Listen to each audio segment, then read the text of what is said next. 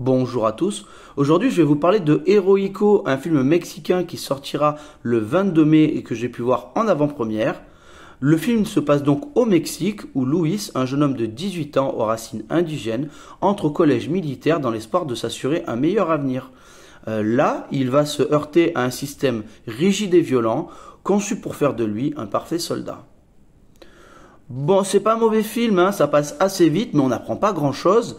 Euh, c'est du déjà vu, on a déjà vu des films hein, sur les camps militaires. Bon là c'est juste que ça se passe au Mexique. Je donne un exemple. Je trouve qu'il y a pas mal de parallèles à faire avec bah, euh, la première partie de Full Metal Jacket, bon qui se passait au Vietnam, euh, hein, bien sûr, mais avec des Américains. Mais je trouve qu'il y a tellement de parallèles à faire. voilà que ce soit même au niveau des événements, au niveau bah, du, du, de la hiérarchie, des, de la camaraderie entre entre soldats, c'est du déjà vu. Et puis, je cite celui-là, mais il y en a, il y en a d'autres hein, qui ont déjà traité des camps, de, camps militaires.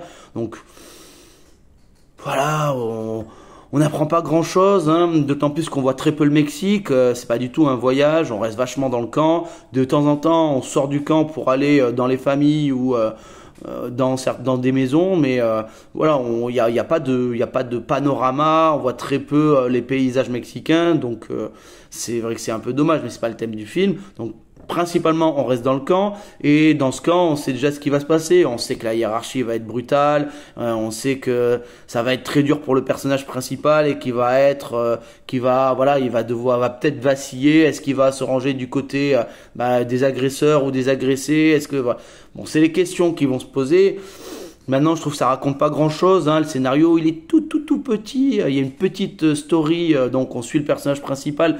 On essaie de voir quel va être son destin, mais il n'y a, pas grand chose. Hein. Euh, c'est un film qui pourrait être un film vraiment un film coup de poing, même si apparemment ça a bouleversé euh, le gouvernement mexicain, ce qui avait écrit sur l'affiche, euh, que ça avait vraiment été un film choc dans le pays. Moi, je trouve pas que ce soit un film choc. Hein. Ça manque quand même beaucoup de violence et de brutalité. Tout est suggéré en hors champ pour que vraiment ça fasse ça fasse vraiment coup de poing.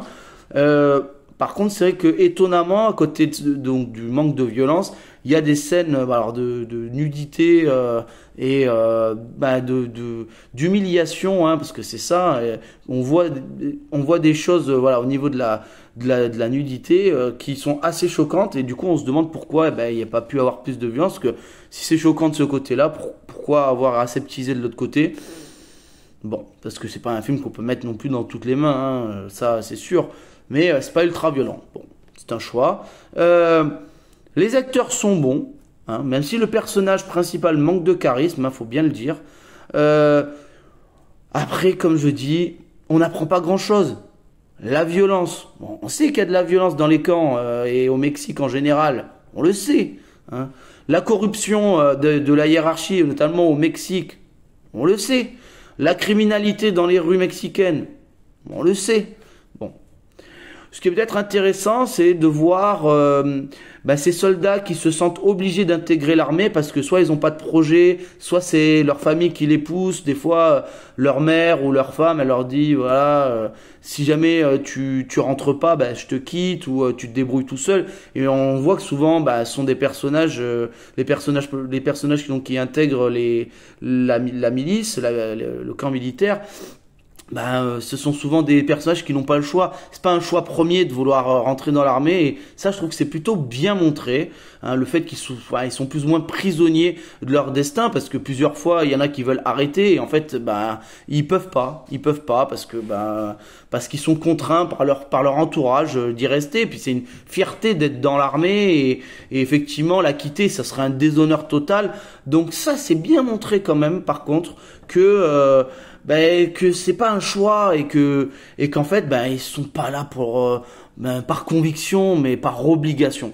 Ça c'est plutôt bien montré. Mais sinon, on n'apprend pas grand chose dans ce film. Qui voilà, je vous conseille, bah non, vous pouvez aller le voir. Hein, vous n'allez pas vous ennuyer, c'est assez court. Et puis euh, ça se passe au Mexique, c'est vrai que bah on n'a pas souvent euh, déjà des films en langue espagnole qui, euh, qui sortent sur le territoire et alors un film mexicain encore moins, donc vous pouvez au moins y aller pour ça.